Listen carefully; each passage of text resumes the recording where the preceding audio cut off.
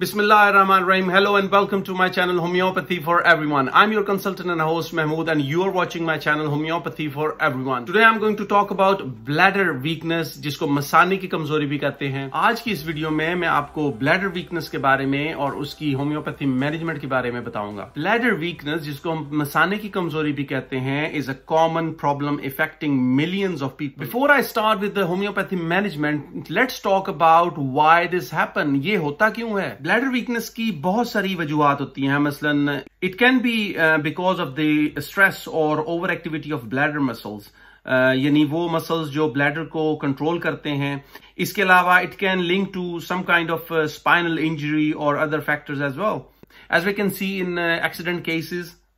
मसाने की कमज़ोरी किसी को भी, किसी भी उम्र में हो सकती है, मगर certain thing can increase the chances of this problem जैसा कि हम प्रेगनेंसी में या चाइल्ड बर्थ के बाद औरतों में बहुत कॉमनली देखते हैं कि ये इश्यूज़ शुरू हो जाते हैं। इसी तरह ओबेसिटी यानी मोटापा भी एक बहुत बड़ी कॉज है इसकी। इसी तरह से आफ्टर सर्जरी या मर्दों में प्रोस्टेट रिमूवल के बाद भी ये इश्यूज़ हो जाते हैं। There are some illnesses which directly or indirectly affect bladder health as well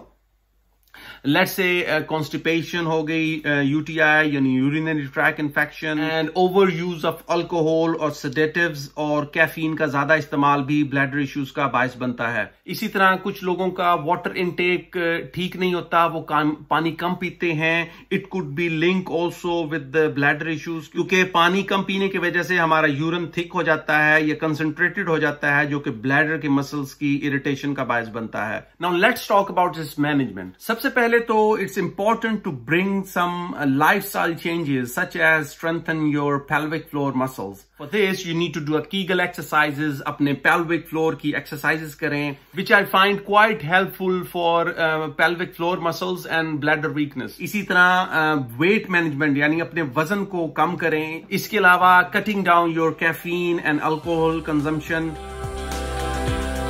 Now let's talk about its homeopathy management. सबसे पहले मैं बात करूँगा अर्जेंटम की और जेलसीनियम के बारे में। These two remedies are well known for its bladder issues related to anxiety इसके मरीज़ को कुछ भी करने से पहले बार बार पेशाब आता है या वो टॉयलेट की तरफ़ भागते हैं और इनके लिए it's quite difficult for them to control his और her यूरन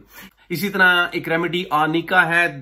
That is another uh, very good remedy uh, for bladder problem i find it helpful where bladder issues uh, starts after the surgery or injury then there is another remedy which is called Balis. It's very good remedy for bladder weakness, especially for pregnant uh, women. इस खास तौर पे ऐसी औरतों में जहाँ बच्चे की हरकत की वजह से या किकिंग की वजह से औरतों में ब्लैडर वीकनेस आ जाए या वो शिकायत करती हों कि उनके पेट में ब्रूज सी जैसे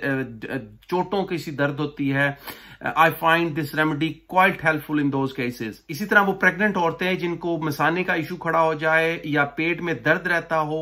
बच्चे की किक करने की वजह से, अगर ऐसी माएँ ये शिकायत करती हैं कि बच्चे की टांगे मारने की वजह से पेट में दर्द होती है या पेशाब निकल जाता है, ऐसे केसेस में बैलेंस को ज़रूर याद रखें। इसी तरह कास्टिकम है। Causticum is another great remedy for bladder weakness specially in the old age bladder weakness I find this remedy quite helpful in old age weakness of the bladder और in cases of paralysis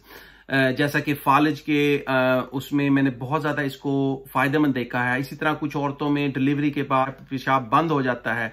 ऐसी conditions में there is no such good remedy as causticum मैंने इस remedy के बहुत अच्छे results देखे हैं जब पेशाब डिलीवरी के बाद रुक जाए और बिल्कुल आना बंद हो जाए। ऐसी कंडीशंस में कास्टिकम की 200 में या 1000 में टू से थ्री डोजेस के बाद ही पेशाब आना शुरू हो जाता है। Then there is another very interesting remedy which is called dictamnus